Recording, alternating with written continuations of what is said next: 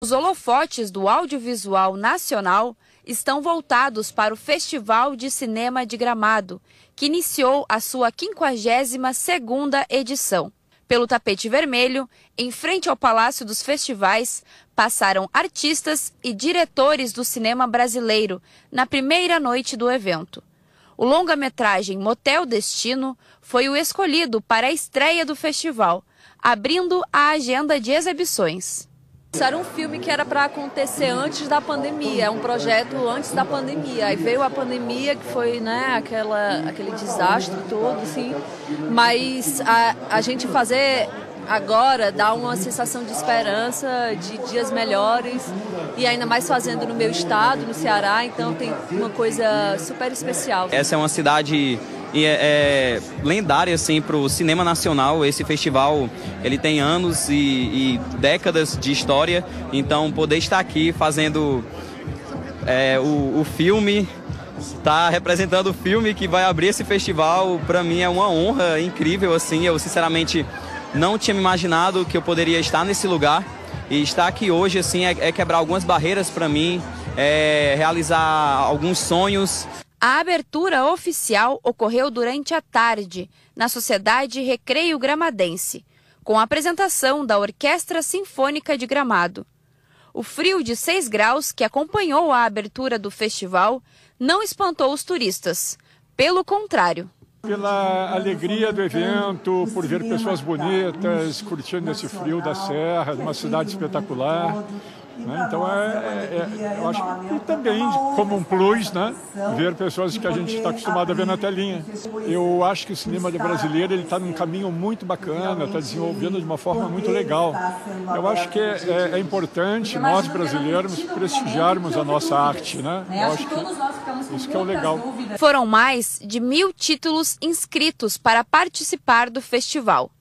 Nesta edição, 28 filmes serão exibidos, após terem passado por uma curadoria.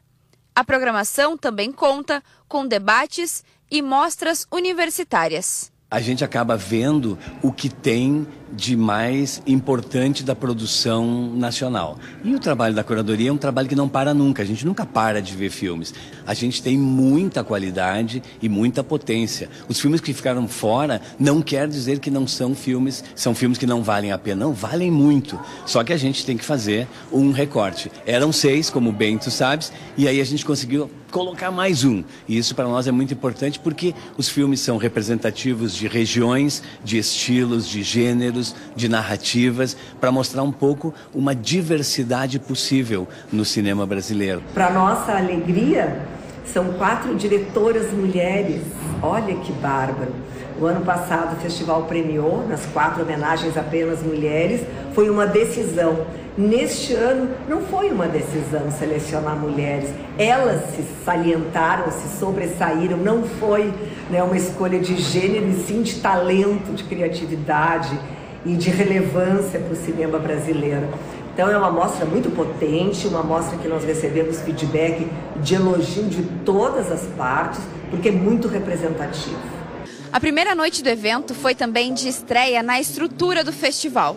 Neste ano, a aposta foi em inovação e interatividade com o público.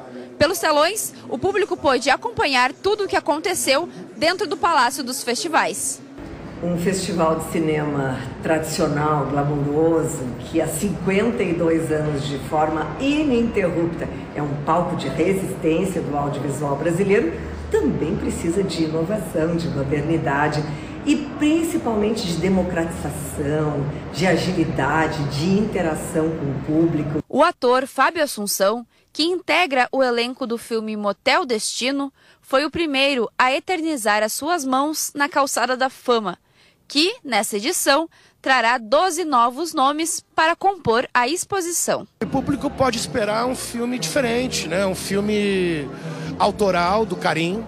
Né? O Karim é um, é um dos diretores mais importantes do Brasil. É... E é um filme que tem uma leitura própria de um universo dentro de um motel. É... E a relação entre esses três. Enfim, é muito difícil falar rapidamente do filme, porque ele tem muitas camadas. Mas podem esperar um filme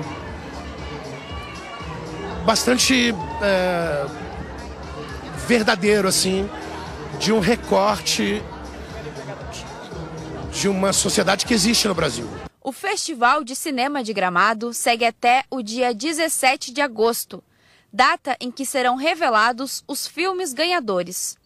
Ao todo, serão entregues 33 quiquitos, 11 troféus Assembleia Legislativa e as tradicionais homenagens, com os troféus Oscarito, Eduardo Abelim, Quiquito de Cristal e Cidade de Gramado. A calamidade ela ainda permeia as nossas vidas aqui no Rio Grande do Sul. Nosso aeroporto Salgado Filho ainda permanece fechado e assim ficará até final de outubro. É uma ferida, né? Nos isolando do resto do Brasil. Então é muito importante, ele tem um significado icônico uh, para os realizadores gaúchos, para nós mostrarmos o quanto nós somos resilientes e que o festival é este palco que está aqui para mostrar. É o primeiro grande evento né, em meio a essa calamidade toda.